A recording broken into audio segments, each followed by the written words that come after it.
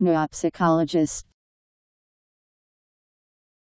A neurologist or psychologist whose specialty is neuropsychology. N E U R O P S Y C H O L O G I S T. Neuropsychologist.